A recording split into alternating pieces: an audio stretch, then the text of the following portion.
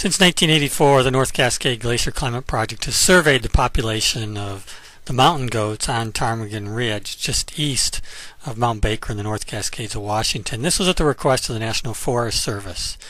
We do so the first week of August each year, as while we're conducting research on the Rainbow and Sholes Glacier. We see three basic herds, the Ptarmigan Ridge herd outlined in purple, the Sholes herd outlined in pink, and the Rainbow herd outlined in red.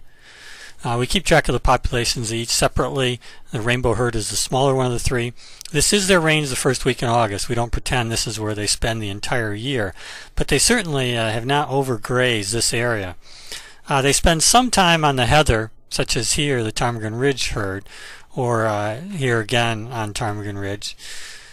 But uh, they spend most of their time uh, not grazing in this rich meadows, but on the bare um, kind of grass, their talus slopes, or you know on snowbanks or between snowbanks.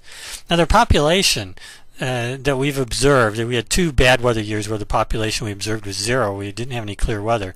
But other than that, the population of the herds has stayed right around 20 until a series of mild winters starting in 2002 when the population has gone up to 120. Here's the goat bed locations we see within uh, the various herd locations. And uh, these goat beds are what they occupy uh, both during sometimes the heat of the day and uh, at night.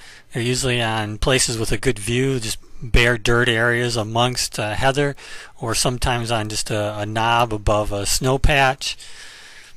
Uh, if you spook them from one of these beds, they'll quickly disappear. Here's a prominent knob below a glacier. We spooked uh, this particular rainbow herd and here they are. We usually don't approach them too much, so we try not to interfere with their life. We just observe them uh, from a distance. And here's a group of 55, part of the Sholes Glacier herd, just scattered across this mainly bare terrain. A little bit of moss and heather down here, some grazing, but not a lot. Uh, here they are crossing the creek below the Sholes Glacier. Again, if you go into this area, you don't see a ton of uh, browsing. It's not like it's overbrowsed.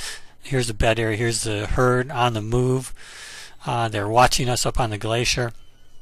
Here's a group that just settled in for the evening, getting ready to spend their night on this little ridge, and we can observe them uh, without spooking them from uh, a distance. And uh, so here's what we see zoomed in from that same location. So we've had a chance to observe these glaciers over the last 20 years, and if you're looking for more information, take a look at uh, this website, and we look forward to continuing uh, this observation of these fabulous animals that are doing